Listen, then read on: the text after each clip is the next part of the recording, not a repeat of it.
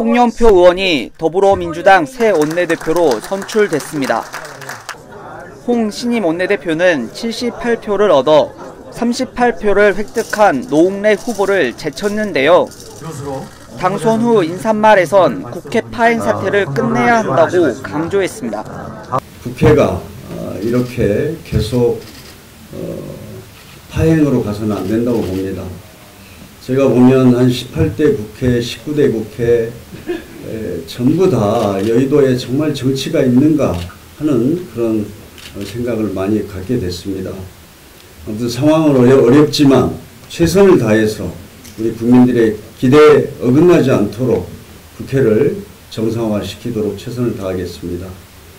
홍 신임 원내대표는 당선 소감을 발표 후 국회 본관 앞에서 당신 농성 중인 김성태 자유한국당 원내대표를 찾았는데요.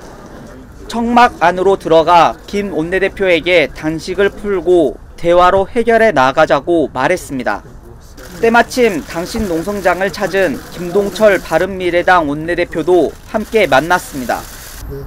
의원은 이제 뭐 혹시 친문 핵심이고 그러니까 오히려 뭐 되면 되고 안 되면 안 되고지 뭐 길게 질질 끌고 뭐 원식 대표처럼 또 그러지는 않을 거라고 봅니다. 드루킹 댓글 조작 사건에 대해 특검 법안 처리를 놓고 국회는 파행 상태입니다. 여당의 원내대표가 새로 바뀐 만큼 여야 간 입장 차에 변화가 있을지 귀추가 주목됩니다. 천지TV 황시연입니다.